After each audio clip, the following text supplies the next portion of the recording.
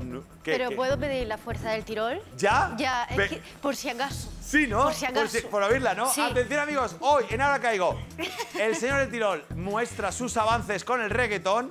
Está aprendiendo a hacer twerking y Fuerza del Tirol. Vamos, hermano. ¿Cómo? ¿Qué dices?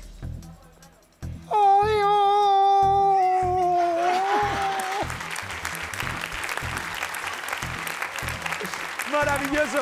Porque, claro, claro, eh, hace el twerking al revés, porque el twerking sería, sería, sería mover el culo y él hace. y él hace- La fuer- el twerking al revés. Bueno, ha, ha merecido la pena, ¿verdad? merecido Mimi? la pena. Pues